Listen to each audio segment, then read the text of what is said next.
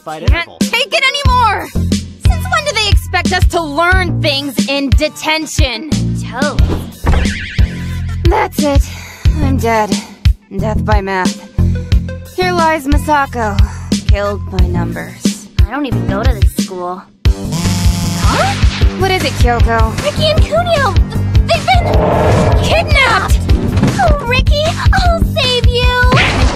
I'm coming, Kunio! Girls, please take your seats. No, you take them! You can't silence love, Mr. Rudis! We'll find whoever took our boyfriends and beat them into the street!